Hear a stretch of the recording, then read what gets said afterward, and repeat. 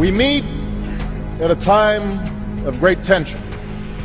America's strong bonds with Israel are well known.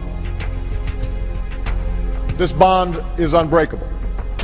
It is also undeniable that the Palestinian people, Muslims and Christians, has suffered in pursuit of a homeland. The land of Israel is where everything starts.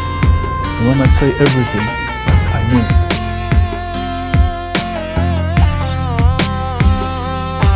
It's a lovely world, but some people just cannot behold its beauty at all.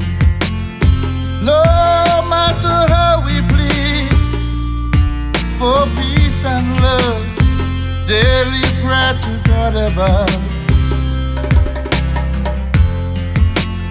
Held out his gentle hand. He's the only one who can understand. And I know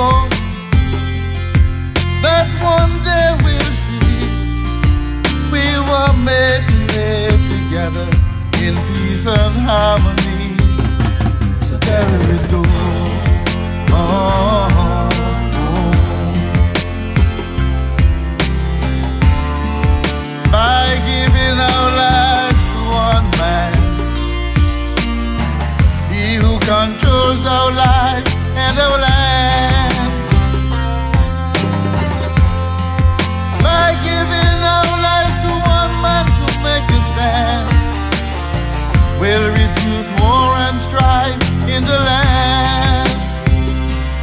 Terrorists go.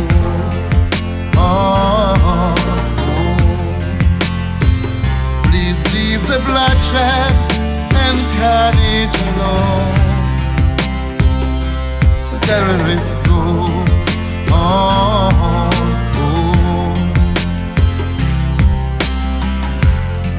We must fight for our liberty, our freedom and equality. But not by terrorizing our fellow men. Stop killing innocent children and instilling fear in all the peoples of the world. Oh, I say no. No more killing in this blessed land. Palestinians and Israelites. Arabs, it's time that we all unite.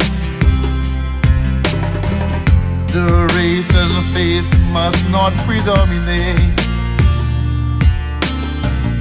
over the love which we must not forsake. The terrorists go on.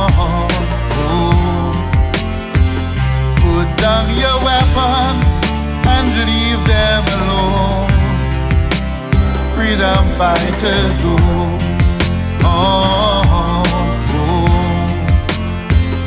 To meet your loved ones and no more to roam. Freedom fighters go on. Oh.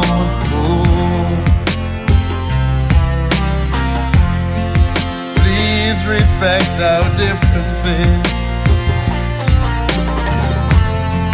our choices, our preferences. Christians read the Bible, Muslims the Quran. They both speak about our master's plan. Taking a life must not be the way to solve every problem and to get our own way. So let us just go on, oh,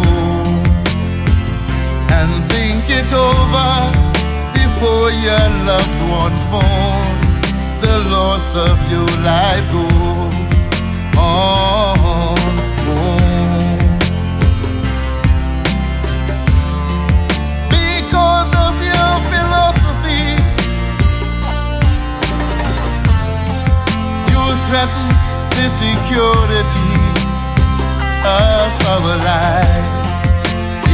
Innocent bloodshed every day. In countries so far away. No matter what world leaders say. Your bombs are the price we pay decide for my goal.